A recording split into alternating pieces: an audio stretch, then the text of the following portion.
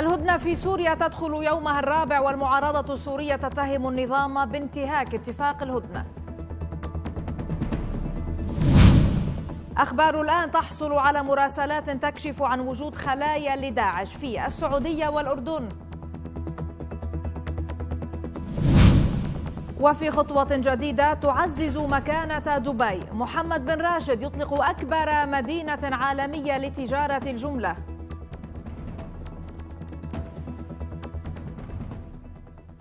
مساء الخير أهلا بكم مشاهدينا إلى برنامجكم استوديو الآن حلقة جديدة.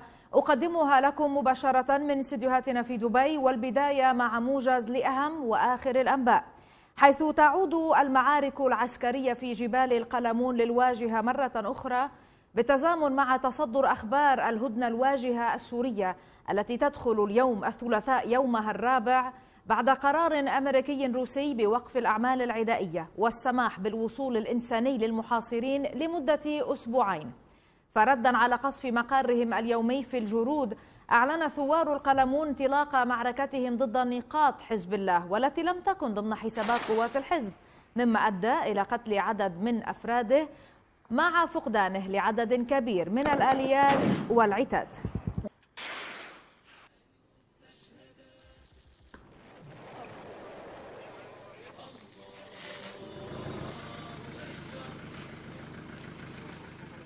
النظام السوري يخترق الهدنة من جديد في درعا البلد ويقصف أحياءها بقذائف الهون والرشاشات الثقيلة. في السياق نفسه قامت فصائل الجبهة الجنوبية في درعا البلد بالرد على مصدر النيران من قوات النظام. للمزيد من التفاصيل على كل هذه النقاط. معي من ريف درعا مراسل أخبار الآن محمد الحوراني. محمد كل التفاصيل من عندك لو سمحت حول ما ذكرناه وآخر تطورات حتى هذه اللحظة. نعم ميسون مساء الخير. النظام اليوم الرابع يقوم باختراق الهدنة المتفق عليها ما بين روسيا وأمريكا في مشان السوري. في اليوم تم اختراق الهدنة بشكل علني في في أحياء درعا البلد باستهداف آه، درعا البلد بقذائف الهاون والمدفعية الثقيلة أيضا آه، والرشاشات الثقيلة بالعيار 23 ملي من قبل حي المنشية التي تسيطر عليه قوات النظام.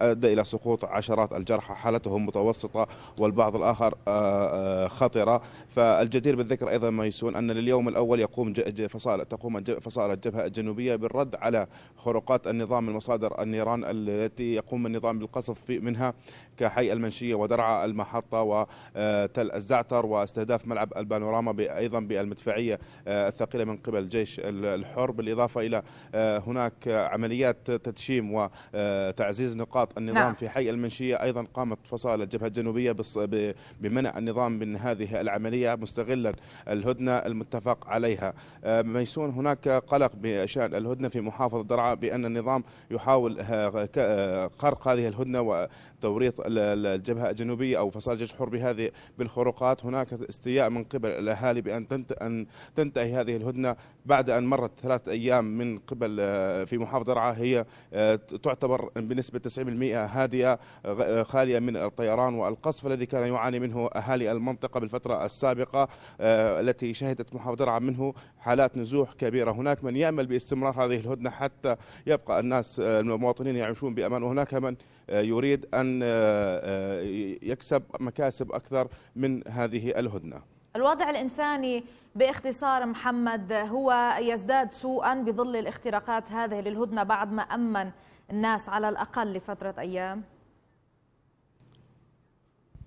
ميسون الهدنة اللي تدخل يومها الرابع هناك كان حالة من الاطمئنان وحالة آه، من الانبساط لدى المواطنين في محافظة درعا خاصة نعم. أن هناك كانت خروقات آه، بسيطة في عدة مناطق لكن بشكل عام كان هناك أن المواطنين والأهالي المحافظة مطمئنين من هذه الهدنة فتحرك كانت الأصوات تتحرك بحركة جيدة وكان. هناك دخول بعض المواد الأولية فكانت هذه الأربعة أيام الماضيه الثلاث أيام الماضيه واليوم الرابع كانت آه، تبعث الأمل في قلوب الناس حتى آه، آه، لبعض الوقت لكن اليوم اليوم هو مختلف جدا في بعد استهداف حدر على البلد التي كانت تشهد معارك في الأيام الماضية قبل الهدنة اليوم عادت هذه القحاده القصف إلى احياء درع البلد أدى إلى نزوح من عاد إلى احياء درع البلد إلى السهول والمناطق المحررة المجاورة. أنا أشكرك جزيلا على كل هذه المعلومات من ريف درعا مراسل أخبار الآن محمد الحوراني.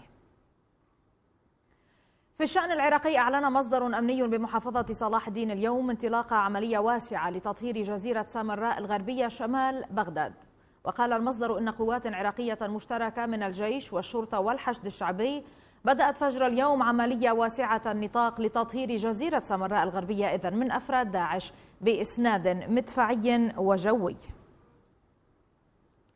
حذرت السفارة الأمريكية في بغداد اليوم مواطنيها وطلبت منهم الاستعداد لمغادرة البلاد في حال وقوع ما وصفته بالكارثة. إذا انهار أكبر سد لتوليد الكهرباء قرب مدينة الموصل. ووصفت السفارة في رسالتها حدوث هذا بالخطير وغير المسبوق. وقال رئيس الوزراء العراقي حيدر العبادي يوم الأحد إن إجراءات احترازية تتخذ لكنه وصف احتمالات انهيار السد بأنها ضئيلة للغاية. نشرت صحيفة الإندبندنت البريطانية تقريرا عن تغير داعش لاستراتيجيته المتعارف عليها باستخدام مقاتلات وانتحاريات لأول مرة. وأوضحت الصحيفة أن الهجمات تظهر استخدام داعش للنساء في القتال للمرة الأولى. ففي سوريا والعراق اقتصر دور النساء على أعمال غير قتالية. وقالت الإندبندنت أن كتيبة الخنساء المكونة من نساء فقط في الرقة والموصل يفرضون عقوبات على أولئك الذين لا يلتزمون بالسلوكيات التي يفرضها داعش. أكدت مصادر ميدانية أن المنظومة الدفاعية لقوات التحالف العربي اعترضت صاروخا باليستيا في مأرب أطلق من منطقة حباب بمحافظة مأرب مشيرة إلى أن سماء المحافظة شهدت تحليقا مكثفا لطيران التحالف عقب اعتراض الصاروخ. هذا وتكبدت ميليشيات الحوثي والمخلوع علي عبد الله صالح خسائر بشرية فادحة بعدما فقدت 24 من أفرادها بين قتيل وجريح. خلال غارة جوية لطيران التحالف استهدفت اجتماعا للميليشيات في قرية بني يوسف في صنعاء. أصيب شيخ سعودي عائد القرني مع عدد من مرافقيه في عملية إطلاق نار في الفلبين وذلك بعد فراغه من محاضرة ألقاها في إحدى المدن الفلبينية. وأفاد مسؤول بأن الشيخ بخير ويتعافى وأنه لا يزال في المستشفى. وذكرت بعض التدوينات القصيرة على تويتر أن الوضع الأمني خطير بفعل وجود اشتباكات بين الجيش الفلبيني ومسلحين وقد سجلت العديد من حالات الخطف. أعلنت مفوضية الأمم المتحدة العليا للاجئين اليوم في جنيف أن أكثر من 131 ألف مهاجر وصلوا إلى أوروبا عبر المتوسط منذ مطلع كانون الثاني يناير. من جانب آخر قتل حوالي 410 أشخاص عند محاولتهم عبور المتوسط اعتبارا من مطلع السنة في حين أوضحت المفوضية أن وصول المهاجرين إلى أوروبا تباطأ في الشتاء لكنه بقي بمستوى مرتفع نسبيا. من المقرر أن يصوت مجلس الأمن الدولي اليوم على مشروع قرار قدمته الولايات المتحدة يفرض سلسلة عقوبات جديدة على كوريا الشمالية. ردا على إجرائها مؤخرا تجربة نووية تم ثم على إطلاقها لصاروخ نحو الفضاء الخارجي بحسب ما أفادت مصادر دبلوماسية. مع تقدم المرشحين الإصلاحيين بقوة في انتخابات البرلمان أو ما يعرف بمجلس الشورى الإيراني وتوفق التفوق. المرشحين المعتدلين في المحافظات تم تسجيل رقم قياسي من عدد النساء. اللائي سيحصلن على مقاعد في البرلمان. واستنادا إلى أحدث النتائج. تشير التقديرات إلى أن نحو 20 امرأة قد يدخلن البرلمان المقبل والمؤلف من 290 مقعدا وهي النسبة الأكبر من أي وقت مضى. الرياض طائرات حربية سعودية على أهبة الاستعداد في تركيا. الرياض تعزز مشاركتها في التحالف الدولي ضد داعش. التفاصيل بعد الفاصل.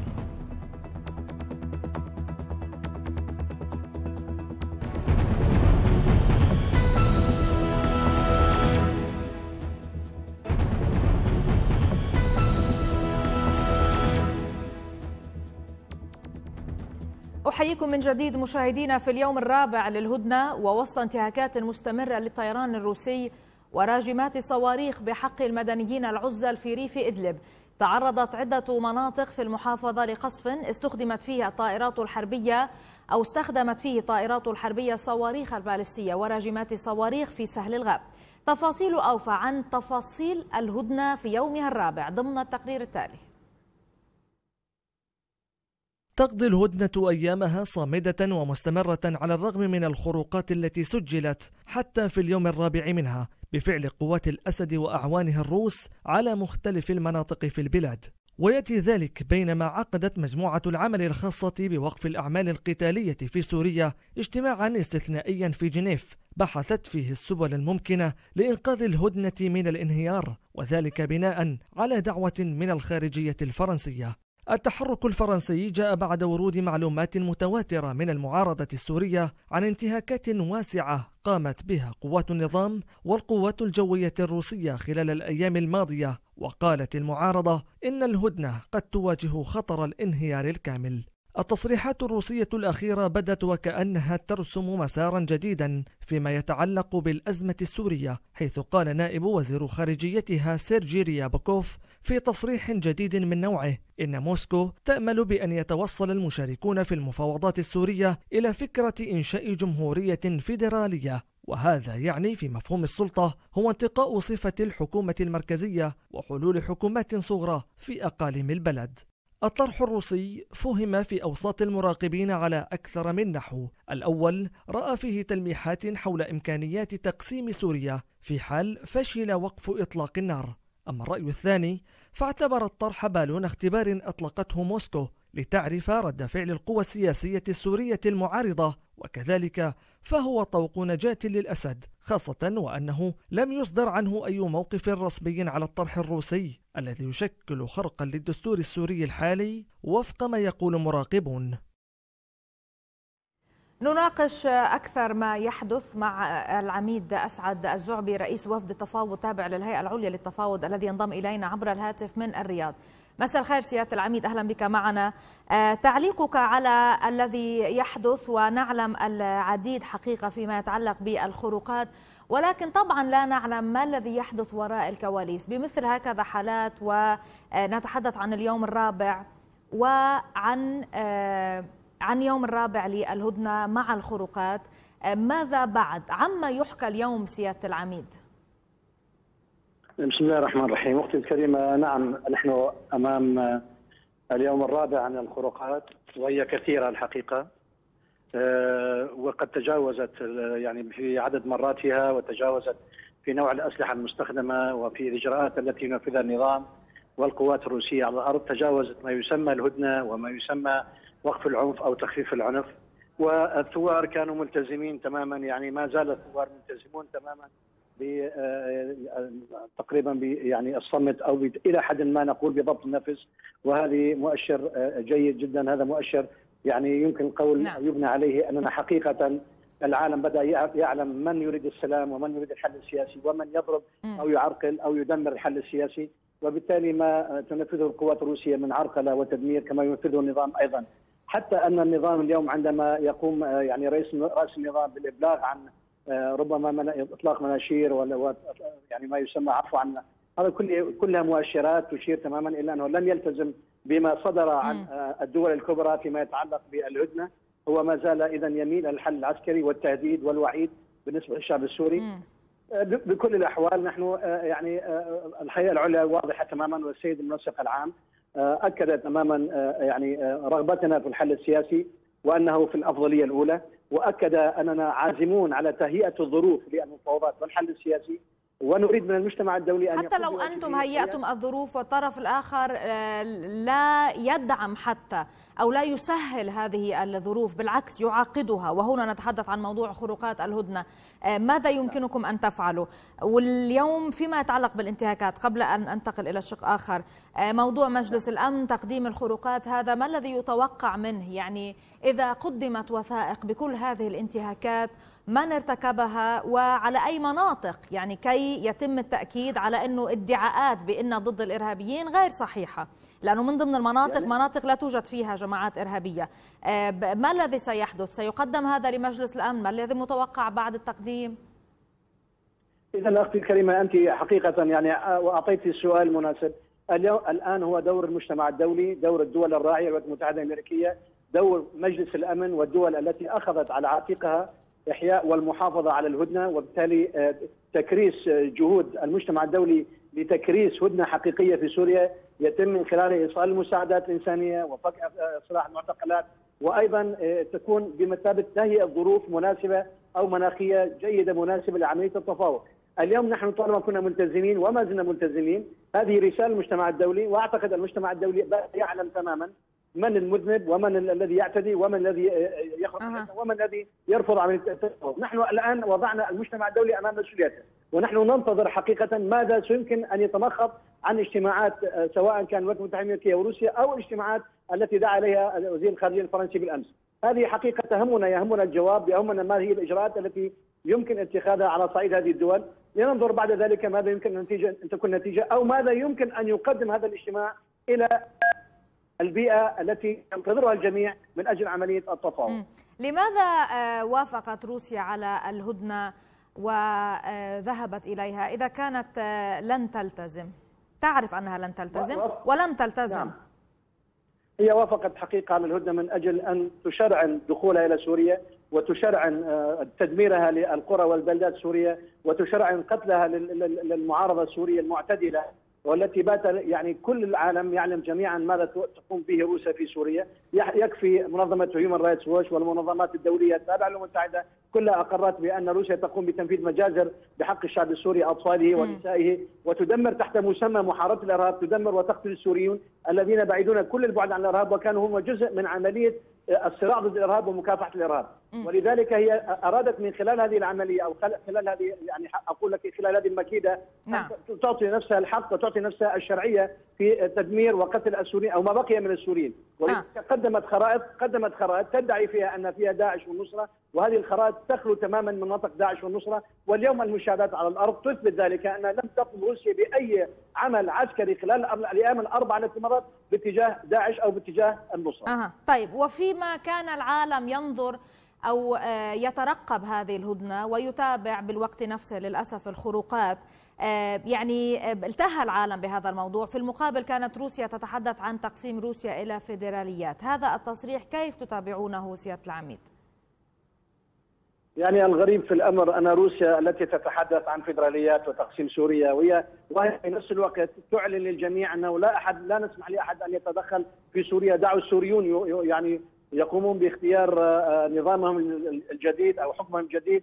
يعني لا نريد نريد أن فقط أن نسمع رايا واحد بروسيا، لا نريد أن نسمع آراء مترددة، هذه من جهة من جهة أخرى أقول لك قول السوريين أو رأي السوريين نحن بالهيئة العامة آه، في مؤتمر الرياض قد آه، تمخض عنها بيان معروف لدى الجميع. أول فقرات هذا البيان المحافظة على سوريا ارضا وحده الاراضي السوريه ارضا وشعبا، سوريا مم. دولة موحدة لا يمكن أن نكون نعم. لا فدراليه ولا كونفدراليه ولا أي نوع من أنواع التقسيم، سوريا ستبقى ارضا وشعبا دولة واحدة. نعم، أنا أشكرك جزيلا من الرياض، اعذرني على المقاطعة سيادة العميد أسعد الزعبي رئيس وفد التفاوض تابع للهيئة العليا للمفاوضات، شكرا جزيلا لك. ونحن باقون معكم مشاهدينا لنتابع بعد الفاصل. مجلس محافظة نينوى يرفض مشاركة الحشد في معركة الموصل.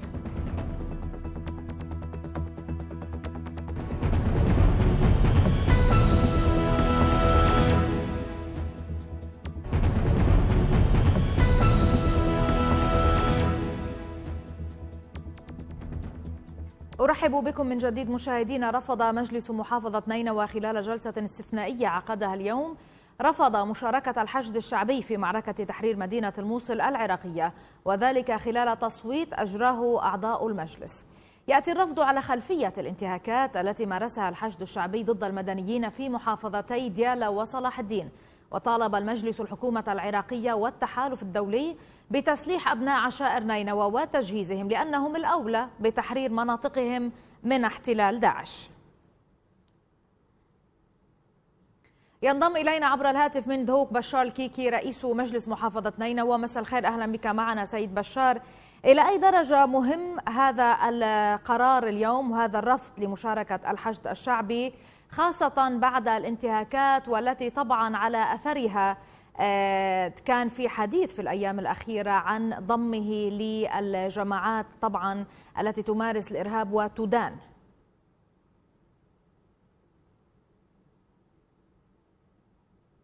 سيد بشار. يبدو أن سيد بشار لا يسمعني.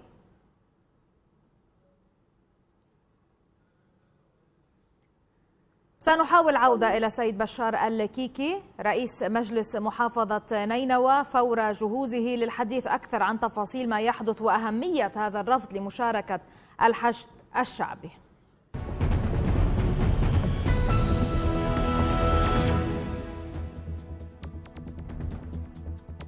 وثائق حصرية لأخبار الآن تظهر محادثات سرية بين أفراد داعش تكشف عن خلايا للتنظيم خارج سوريا والعراق. مجموعة من الرجال وأخرى من النساء تم تجنيده من قبل التنظيم. أولى هذه الوثائق يستعرضها لنا الزميل يمان شواف. حصلت أخبار الآن على وثائق حصرية تظهر خفايا تنظيم داعش وتظهر معلومات تتعلق بمحادثات سرية بين عناصر التنظيم. عناصر تم تدريبها وتجهيزها للعمل خارج سوريا والعراق بعضهم خلايا نائمة وآخرون يقومون بتجنيد عناصر لخدمة التنظيم. أولى هذه الوثائق نكشف فيها حوار بين شخص يدعى أبو محمد وأبو مسلم الأموي. يبدأ أبو محمد حواره مستخدما سكايب. يخاطب أبو مسلم الأموي السلام عليكم كلمني بسرعة. يرد أبو مسلم معك تفضل. يبدأ الحديث بينهما. يسأل أبو محمد عن أسماء ويحدد الخاصين بالسعودية وليبيا لكن دون أن يوضح ماذا يقصد بذلك هل يود إرسالهم للسعودية أم هم في السعودية؟ يرد أبو مسلم سأرسل لك الأسماء الخاصة بالسعودية الآن وغدا الأسماء الخاصة بليبيا. يسأل أبو محمد ماذا حصل بشأن التدريب؟ يرد عليه أبو مسلم كل شيء جيد. يؤكد عليه أبو محمد لا نريد أن تخرج أي معلومة. وهنا يبدأ بإرسال الأسماء. الاسم الأول الذي كتبه أبو مسلم هو أبو حفص السعودي الاسم المكنى به الشمري. لكن أبو محمد يوقفه يقول له انتظر لا ترسل هكذا. يطلب منه أن يرسل الاسم دون لقب عائلته الحقيقي مع ذكر اسم دولته فقط. يقول أبو مسلم سأرسل لك ملف لكن أبو محمد يقول لا لا أستلم ملف. طلب منه أن يكتب الأسماء ومن ثم سيقوم بحذف الأسماء فور قراءتها. طبعا هنا بعض الأسماء التي كتبها أبو مسلم لأبو محمد في المحادثة. ينتهي من الأسماء. يكتب أبو محمد. أغلب هذه الأسماء معنا. يرد أبو مسلم الأموي أعلم. ولكن نحن أعلنا استشهاد البعض منهم وجهزنا لهم وثائق رسمية. هنا تنكشف مهمة هؤلاء. يكتب أبو مسلم يتابع الشرح أبو مسلم الأموي ويقول هذه الأسماء التي تم اقتراحها وتدريبها خلال العام الماضي وهم متأهلين الآن لدخول السعودية والأردن. يبدأ بنشر أسماء نساء ويبدو أن أبو مسلم كان يتحدث عن النساء وليست الأسماء التابعة للرجال والتي نشرها قبل هذا الكلام. هذه المجموعة الثانية هي لأسماء نشرها أبو مسلم في محادثته مع أبو محمد.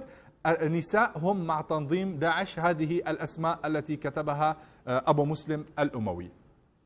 طبعا هذا الجزء الأول من المحادثات يكشف عن مجموعة قام تنظيم داعش بتدريبهم. مجموعة من الرجال والنساء تم تدريبهم للقيام بمهمات لم تكشف ما هي طبيعتها ولكن يبدو وأنها ربما عمليات انتحارية أو خلايا نائمة للتنظيم. تحضر لشيء ما في الأردن والسعودية وليبيا كما بدا من خلال الحديث بين أبو محمد وأبو مسلم الأموي. في الجزء الثاني يكمل أبو محمد حديثه ولكن مع امرأة هي بنت الموصل. من هي بنت الموصل؟ تفاصيل تتابعونها في الجزء الثاني من هذه السلسلة التي نكشف فيها خفايا داعش المرعبة. نعود مشاهدينا إلى الموضوع العراقي والجلسة الاستثنائية التي عقدت اليوم لمجلس محافظة نينوى حيث تم إصدار قرار برفض مشاركة الحشد في معركة الموصل. عبر الهاتف من دوك بشار الكيكي رئيس مجلس محافظة نينوى. مساء الخير. أهلا بك معنا سيد بشار. مساء النور. أهلا وسهلا. أهلا بك. اليوم الجلسة الاستثنائية التي عقدت آه، أهمية ما الإقرار الصادر من بعدها بعدم مشاركة الحشد الشعبي وعلمنا بمعركة الموصل طبعا وعلمنا بأنه هذا بسبب الانتهاكات التي ارتكبت. آه، إذا أمكن أن نعرف تفاصيل أكثر عن هذه الانتهاكات والممارسات التي رفضتموها وعلى أساسها تم هذا القرار اليوم. يعني بالتأكيد آه، وجود انتهاكات من بعض المسؤولين ضمن الحشد الشعبي في بعض المناطق في المناطق التي حررت. بالتأكيد هذه كانت أحد الأسباب ولكن ليست كل الأسباب. والقرار الذي اتخذناه حقيقة آه، لم يكن آه، يعني قرارا آه، جديدا في في بحثه وإنما بحث هذا الموضوع على مستوى الوطني وعلى مستوى الكتل البرلمانية وكانت هنالك يعني بيانات وتصريحات ولكن بالتأكيد القرار الذي صدر عن مجلس محافظه نينوى كان من أهم يعني القرارات لأنه آه، مجلس محافظة نينوى يمثل الرأي العام الرسمي آه، لغالبية آه، أهالي نينوى. وحقيقة الأمر تم طرح هذا الموضوع على جلسة مجلس المحافظة ونوقش بشكل مستفيض جدا ومن كافة النواحي ومن كافة الأبعاد ومن منتهى الحرية. وتوصل المجلس بالأغلبية إلى أنه يرفض دخول الحشد الشعبي وذلك لقطع الطريق أمام كل آه، من يدعي الطائفية وكذلك لقطع الطريق أمام آه، كل الجهود التي ممكن آه، أن تستغل طبعا من قبل تنظيم داعش الإرهابي لأنه نعم. دائما يؤكد بأن هنالك فعلا مجازر ترتكب وانتهاكات وإلى آخره فنحن حقيقة من ضمن فقرات القرار هي آه، آه، يعني رفضنا آه، ضمن القرار أي تفسير طائفي لهذا القرار. نحن نؤكد صحيح كان هذا واضح بالخبر حتى إنه صحيح إنه أنتم رفضتم بمجلس المحافظة أي تفسير طائفي لهذا القرار وإنه كل القوات الأمنية هي من الجيش والشرطة وتشمع جميع أبناء العراق بغض النظر عن الطوائف. بس سيد بشار إلى أي درجة هذا مهم أيضا للعراق هكذا قرار آه، خاصة بأنه أتى بعد أيام قليلة على تصريح عربي طبعا. آه، قال بأنه الحشد الشعبي بات لا يفرق اليوم إن كان عن داعش أو عن آه، أي من الجماعات الإرهابية. وبالتالي إلى أي درجة هذا سيكون داعما لكم أيضا ولكل من يعني، يدعمكم في المقابل بمحاربة الإرهاب. نعم هنالك مسؤولية على الحكومة الاتحادية في دعم وتمكين أبناء واهالي نينوى آه، وفتح باب التطويع لهم للمشاركة في عملية التحرير. وبذلك نرسل رسالة إلى أهلنا آه، المحاصرين في الموصل والبالغ عددهم حوالي مليونين نسمة بأن القوات التي ستحررهم هي قوات نظامية قوات آه، تنتمي بشكل واضح إلى الدولة العراقية وتشرف من قبل ويتم الإشراف عليها من قبل القائد العام للقوات المسلحة والذي هو رئيس الوزراء وحقيقة هذه رسالة اطمئنان وبالنسبة لنا آه، الموضوع آه، بعيد تماما كما شرحته لك بأن الموضوع ليس طائفيا ابدا صحيح. ونحن نؤكد بأنه يجب يجب فتح باب التطويع أمام أهالي نينوى لأسباب أساسية ولكن أهمها نعم. ماذا ماذا سيكون الوضع ما بعد التحرير أنا أشكرك جزيلا على هذه المشاركة معنا. آه، الفكرة واضحة عبر الهاتف من دوك بشار الكيكي رئيس مجلس محافظة نينوى. وشكرا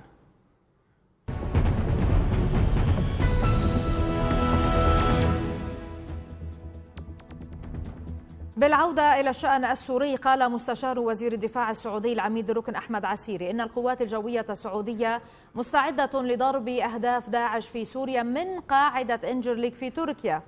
وأكد عسيري أن أربع مقاتلات حربية سعودية وصلت إلى قاعدة إنجرليك التركية الجمعة الماضي وأصبحت جاهزة للطلعات القتالية. وبشأن العمليات البرية ضد التنظيم الإرهابي في سوريا قال عسيري إن التحالف بحث التوغل البري ضد داعش إلا أنه لم يتخذ قرارا في المسألة بعد. لم تكن الخلافات داخل داعش حديثة بل رافقت هذه الخلافات التنظيم منذ تأسيسه. سرقات وإخفاء مبالغ كبيرة من الأموال تصفية أسماء وشخصيات بارزة في التنظيم بظروف غامضة. والكثير من الأمور حدثت داخل التنظيم لم يعرف أسبابها الحقيقية أو تم التستر عليها من قبل التنظيم.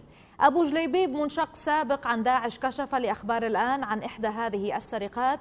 وما تسببت به من خلافات داخل التنظيم. بأمني اعتقل مجموعة شباب. شخص عندنا من زاد من منطقتنا. هو مو دولة زلمة. كان جبهة نصرة. بعد ما انشق أمير جبهة النصرة برأس العين راح بايع الدولة استلم وزير النفط. آه أنصاري هو.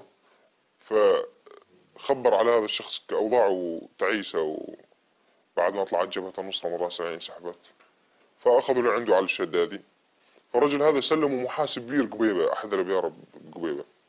برجعته من البير آه، تتلقاه عصابة.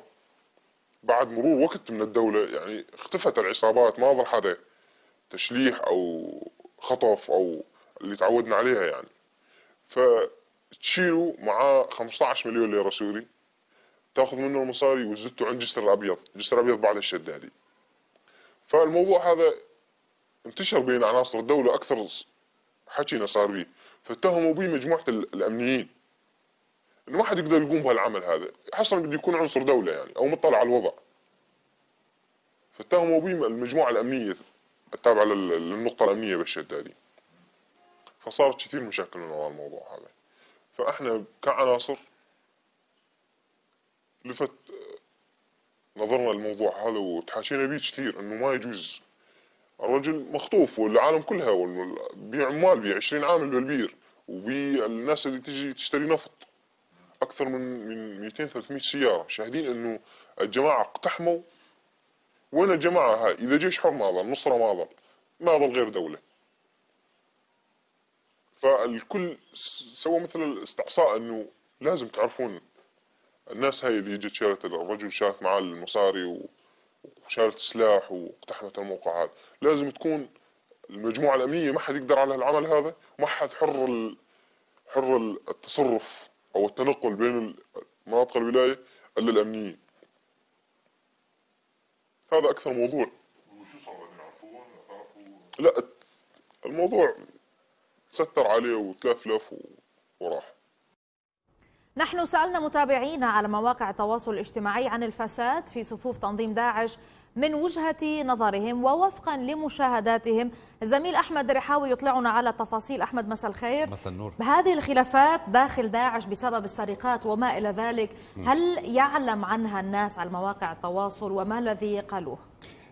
بصراحة يعني لا يعلمون الكثير عن ما يحدث ولكن هناك حوادث كبيرة حصلت داخل تنظيم داعش. كانت آه، واضحة كأحد ك أحد القياديين في داعش في داعش منذ فترة ترك رسالة للتنظيم وأخذ كمية كبيرة من الأموال وفل طبعا بلا عودة رسالة ساخرة كانت التي تركها. هذه تركت أثر وشهادة عند الكثير من المتابعين. سألناهم على واتساب ربما لمن لديه شهادات أو لديه معلومات في المناطق التي يعيشون فيها ويسيطر عليها تنظيم داعش سواء في سوريا أو في العراق. وصلتنا العديد من الرسائل صراحة سنبدأ بها تباعا. نعم. رسالة من رقم آخره 235 يقول داعش لم يأتي بأي مشروع آه، بناء ولا أي فكر واضح وطموحهم فقط القتل وبسلاح أمريكي روسي وأوروبي. رسالة من رقم من داخل سوريا آخره 593 يقول يقول السوريون والعراقيون الذين يعيشون تحت حكم داعش بأنهم يشعرون بالفساد المستشري بشكل عام في المنطقة.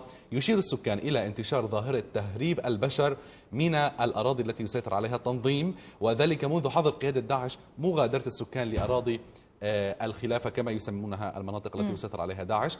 يضيف في كثير من الأحيان تتم رشوة مقاتلي تنظيم داعش ليغضوا النظر عن آه، هؤلاء المهربين ضمن نقاط التفتيش عن البشر الذين يتم تهريبهم مما جعل حدود تلك المناطق التي يسيطر عليها داعش أكثر عرضة للاختراق. يضيف أيضا في رسالته فضائح فساد داعش أصبحت معروفة بين المقاتلين السابقين حيث يتداول هؤلاء الأحاديث حول أمراء التنظيم الذين يهربون أو يهربون الأموال عبر الحدود إلى آه، تركيا ومنها إلى دول أخرى. ومن ثم يختفون حيث يقول قائد المجموعة الذي عمل سابقا مع داعش بأنه ضمن منطقته التي كان يعمل بها في محافظة دير الزور شرق سوريا.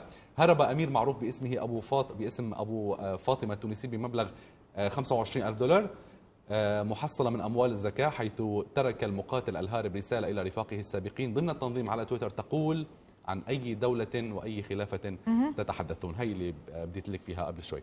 رسالة أيضا من رقم آخره 019 من تركيا يقول أرى أنهم لا يمثلون الإسلام ولا ينتمون إليه وما هم إلا أداة قتل وسرقة ونهب لممتلكات المدنيين. يتحدث عن موضوع الفساد هنا بتسلط على أموال المدنيين في المناطق التي يسيطرون عليها وليس ضمن التنظيم نفسه. أيضا رسالة من رقم آخره 904 يقول لأنها نشأت ضمن أشهر الدول في العالم فسادا هي سوريا والعراق. هذا طبعا بغض النظر عن أن التنظيم تنظيم إرهابي فاسد أصلا. أيضا من ضمن الرسائل ميسون التي وصلتنا رسالة من رقم آخره 012 يقول مظاهر الفساد ضمن دائرة داعش مثل الصراع في الغابة على الفريسة، الكل في داعش يحب المال والشهرة وقد أتيحت لهم الفرصة لإثبات القوة. داعش هو فاسد في كل شيء ابتداء من العقيدة. رسالة أخرى وانتهاء بالعرف تلك القوانين التي يضعونها فيما بينهم طبعا. آه، وأيضا رسالة من رقم آخره 954 يقول وفق مشاهدتي فإن من مظاهر الفساد لدى تنظيم داعش أنها تعامل النظام أو تتعامل مع النظام يقصد آه، خفية وبرأيي أن تنظيم صنيعة نظام الأسد وهذا ما لوحظ من تسليم لبعض النقاط التي كانت تسيطر نعم. عليها أو يسيطر عليها تنظيم داعش دون قتال نظام الأسد وحتى هذه اللحظة ما زال نظام الأسد يأخذ الكهرباء أو يشتري الكهرباء من داعش في بعض المناطق كما يشتري أيضا البترول آه، من المناطق التي يسيطر نعم. عليها داعش. رسالة أيضا من رقم اخره 530 يقول مساعدة مساعدة النظام في تصفية الثوار حتى صاروا خنجرا في ظهر الثورة إضافة إلى سرقة البترول والآثار. رسائل عبر واتساب هذه آه، معظمها. أنا أشكرك جزيلا محمد أحمد الرحاوي إيه شكرا. باقون معكم مشاهدينا لنتابع بعد فاصل قصير. في يومهم العالمي السوريون يستذكرون تضحيات رجال الدفاع المدني لإنقاذ أرواحهم.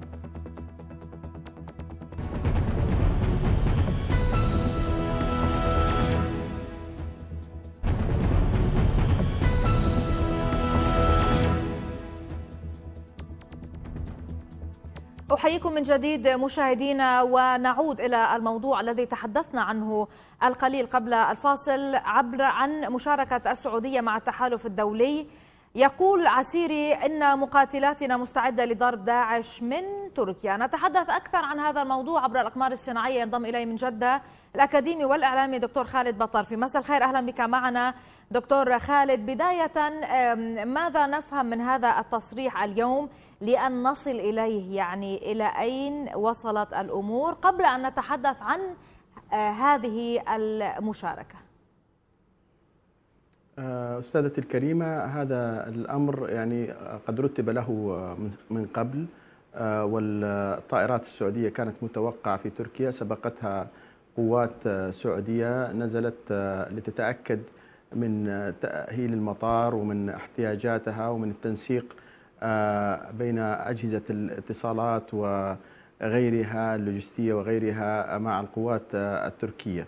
نعم. أخيرا وصلت الطائرات نفسها التي هي مؤهلة ومستعدة للمشاركة فورا في الغارات على داعش. صحيح. هذه فهذا الأمر يعني رتب له نعم. صحيح كلامك طبعا. هذه يعني الانطلاقة اليوم بأنه بأي لحظة.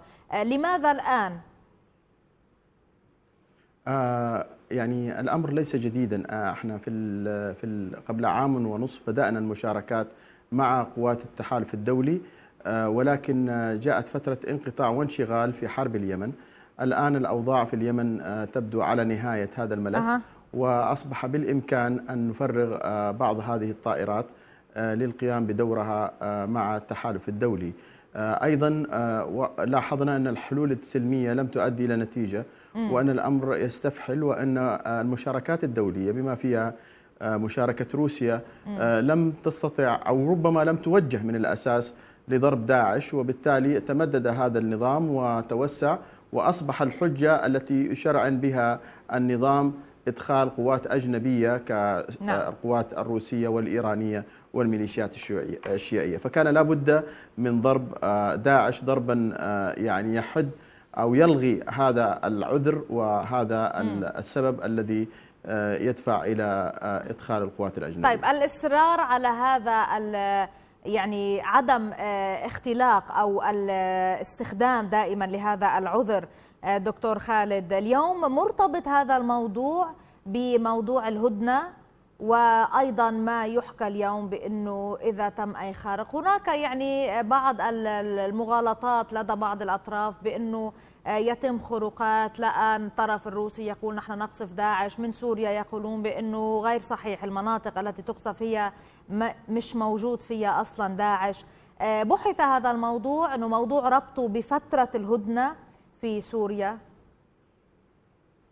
آه، وما في شك أن النظام السوري وحلفائه آه، من الأساس لم يكن ملتزمين أبدا بحرب ضد داعش لأن داعش هو البعبع الذي يخوفون به المجتمع الدولي والذي آه، يشرعنون به دخول القوات الأجنبية وليس نعم. في مصلحتهم القضاء عليه. ولذلك لم يحاربوه يوما ولن يحاربوه. هم يدعون ذلك ولكن الذي يحدث أنهم يضربون المعارضة المعتدلة ويضربون الشعب السوري الذي لا يقبل بهم ويحاولون بناء ما يسمى بسوريا المفيدة التي هي دولة علوية تمتد على الساحل وتشمل دمشق وبعض المناطق ذات الكنوز المعدنية والبترولية. آه، وهذا ما يريدون ولكن هذا لن يحدث لأن المجتمع الإقليمي والمجتمع الدولي مستيقظ لهذه المؤامرة. نعم. ولذلك آه، المملكة حريصة على الدخول آه، لمحاربة داعش والقضاء عليه آه، وهو ما فشل فيه الجميع حتى الآن. التنسيق مع المعارضة المعتدلة المسلحة الموجودة على الأرض؟ وما في شك أن هناك تنسيق من خلال تركيا ومن خلال أيضا آه، تنسيق مباشر مع قوى المعارضة المعتدلة وأكثرهم كان ممثلا في الرياض وما زال. وهؤلاء ملتزمين بالهدنة. ولكن المشكلة هي في الخروقات التي تحدث آه، إما من النظام وروسيا أو من أولئك الذين لم ينضموا أصلا أو لم يقبلوا بالهدنة. نعم. وهما جبهة النصرة وداعش. طيب آه، دكتور خالد بس استفسار أخير فيما يتعلق بموضوع التوغل البري أيضا. آه، بحث هذا الموضوع وفق ما أكد طبعا عسيري ضد داعش. ولكن القرار بهذا الخصوص لم يتخذ. متى آه، المعطيات برأيك ستفرض هذا التوغل البري؟ اللي يبدو بأنه ليس مستبعدا يعني أبدا. آه، هناك من طلب التريث والروس بلا شك لا يريدون آه، أن تكون السعودية أن ترسل قوات برية حتى ولو كانت عمليات خاصة ضد داعش والأسباب معروفة ولذلك هم سعوا إلى الهدنة ليلغوا الحاجة إلى ذلك. ولكنهم في نفس الوقت آه، هم والمجتمع الدولي أعلنوا أن داعش والنصرة ليست آه، يعني داخلة في مشروع الهدنة وبالتالي فإن الحرب معها مستمرة. هذا نعم. التناقض بين ما يريدونه ولا يريدون الإفصاح عنه وبين الواقع هو الذي آه، يعني يشغلهم الآن ويعطي فرصة للجميع لتفسير الأمور بأشكال نعم. متناقضة نعم, نعم. أنا أشكرك جزيلا على هذه المشاركة معنا عبر الأقمار الصناعية من جدة الأكاديمي والإعلامي دكتور خالد باطرفي شكرا دكتور خالد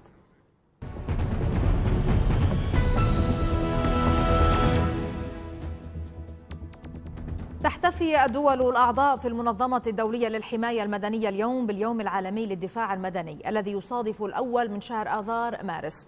وأقرت الجمعية العامة في الأمم المتحدة الأول من مارس يوما دوليا للاحتفال باليوم العالمي للدفاع المدني. تقديرا لما يقوم به الدفاع المدني من جهود عظيمة ومتواصلة للحفاظ على أمن وسلامة المجتمعات الإنسانية من خطر الكوارث الطبيعية والبشرية والتقليل من الآثار المأساوية التي تنجم عنها. في سوريا تكثر القصص حول رجال الدفاع المدني الذين يبذلون المستحيل لإنقاذ المدنيين من قصف النظام. الطفلة رهف إحدى تلك القصص. تعيش حياة اليتم وتعاني حالة نفسية كلما سمعت صوت طائرة في الجو. رهف عاشت لتكون شاهدة على إجرام الغارات ومنفذيها. وعلى بطولات وتضحيات رجال الدفاع المدني العاملين في سوريا. قصة رهف في التقرير التالي. يلا قولي قولي رهف قولي يلا. يرتسم الفرح على وجهي رهف وشقيقتها غفران وهما تلعبان أثناء تصوير والدهما لهما قبل ستة أشهر. أسابيع قليلة تمضي وتتحول سعادة هذه الأسرة إلى حزن عميق. بفعل صاروخ حول المبنى الذي كانوا يقطنونه إلى أنقاض في مدينة دوما. الأب والأم قتلا على الفور أما الطفلة الصغرى رهف فكانت الناجية الوحيدة. ضياء الدين هو جاي من بيته من شغله بالمجلس المحلي اجى على البيت. بالعادة بنته بتتخبى عليه بتمزح معه بيمزحوا وقت بيجي على البيت بيضرب على الباب حتى يفوت للبيت. طلع على البيت. البنت رهف كان عم تتخبى على والدها متخبي تحت الكرسي. وأختها غفران جاي مع والدتها حتى تفتح الباب لوالدها. فضرب الصاروخ راحوا الثلاثة وولد غير رهف بس في أوقات نفسيا بتنزعج بتتضايق بتصير تعيط تصيح خاصة وقت تسمع صوت الطيارات وصوت القذائف. مؤلمة ذكريات انتشال رهف وأسرتها من تحت الأنقاض لتبقى حاضرة في ذاكرة أبي عبد الله أحد أفراد الدفاع المدني في ريف دمشق. الطفلة الموجودة تحت الركام كأنها مدربة كما يتدرب رجال الإنقاذ في الدفاع المدني. كل ما نعطيها صوتنا كل دقيقة كل خمس دقائق هي تعطينا صوت بكاء. تصمت. نحن بندرب العنصر على هذا الكلام إنه في مشان وندرب الشريحة الأكبر شريحة من المجتمع إنه أنت إذا وصلت بهي الحالة تبقى كمية الأكسجين الموجودة قليلة. إنه ما تندفع تبلش تنفس شهيق وزفير شهيق وزفير بتخلص كمية الأكسجين آه، بتسبب لوفاه اليوم وبعد مضي خمسة أشهر تتأرجح رهف وتلعب مجددا ولكن لوحدها. يحاول الجد أن يكون الأب والأم لحفيدته. لكن حتى وإن استطاع ذلك فمن يخفي صوت الطائرة الذي يتسبب بانهيار عصبي لرهف كلما سمعت. فهو كما تعرفه شبح يريد اغتيالها مجددا بعدما أخفق في المرة الأولى. جواد العربيني أخبار الآن ريف دمشق. أم هاني امرأة كردية قضت أربع ساعات تحت أنقاض منزلها بينما كانت فرق الدفاع المدني لريف دمشق تعمل على إنقاذها وسط خوف من غارات أخرى أصابت المكان نفسه. تمكن أبو فراس أحد أفراد الدفاع المدني من إنقاذها بأعجوبة ليحكي لنا قصتها وقصة إنقاذها. سمعنا صوت أنين من تحت سقف نازل. بدأنا البحث لحتى آه، طبعا آه، كانت مردومة بشكل كامل امرأة. آه، لحتى كشفت عن وشها. بدأنا نكشف عنها أول بأول لحتى انكشفت إيدها اليمين. مسكته إيده هيك قلت له مشان الله لا تتركني. فتحت هيك فتحة هيك صغيرة قال بس نفسي. قلت له خلاص أنا بس طلعوني بس بنتي. بنتي لساتها عايشة بنتي. عم تقول لي مشان الله لا تتركوني هون. قلت لها ما رح نتركك. لو بدي اضطر ضل أنا وياكي هون لبكرة إن شاء الله أنت شغلتك بسيطة ورح تطلعي هلأ إن شاء الله رح نطلع. بس أنا معك لحتى تطلعي ما رح أتركك. بأثناء هذا الكلام رجعت الطيارة وغارت غارة ثانية على نفس المكان. بعدين اجى صاروخ ثاني صاروخ ثاني فوقنا. خسرنا أكثر يعني. صرنا أكثر قلت لها خلص الحمد لله رب العالمين. أنا بعرف ابني ميت برا أنا ما شفته. بنتي جنبي ماتت. يعني الحمد لله رب العالمين اشهد ان لا اشهد إن محمد رسول الله. بدأنا نحرر فيها أول بأول. بس الوضع خطر جدا إنه من أي حركة خطأ كان رح تنزل كمية الأنقاض هي كلها علينا. أنا وياها. أو السقف رح ينزل علينا. رح يصير بدنا مين ينقذنا بعد شوي؟ أنا وياها. أه، ما فينا نتركها بهيك حالة. ضلت هي عم تخاطبني وأنا عم خاطبها. هي كان كل خطابها إنه أه، لا تتركني خايفة أتركها وأمشي. حتى إنه مسكت لي إيدي لفترة طويلة من الزمن وأنا عم بشتغل بالإيد الثانية يعني خليت إيدي مشان ترتاح شوي نفسيا. فقلت لها أنا قلت لها ما رح أتركك لو شو ما صار. ورح تطلعي رح تطلعي بإذن الله. ما حسيت شيء كتفي مكسور؟ وهي أكثر من شهرين يعني دربه بعالج حالي لسه أنا ما طبت. الحمد الحمد لله شغل رب العالمين. في خطوة جديدة تعزز مكانة دبي في العالم وتحقق رؤية الإمارات ما بعد النفط. أطلق سمو الشيخ محمد بن راشد آل مكتوم نائب رئيس الدولة رئيس مجلس الوزراء حاكم دبي. أطلق أكبر مدينة عالمية لتجارة الجملة. تبلغ مساحتها 550 مليون قدم مربع. في حين يبلغ حجم استثماراتها 30 مليار درهم.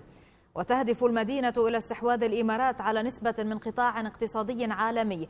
يبلغ حجمه 4.3 تريليون دولار.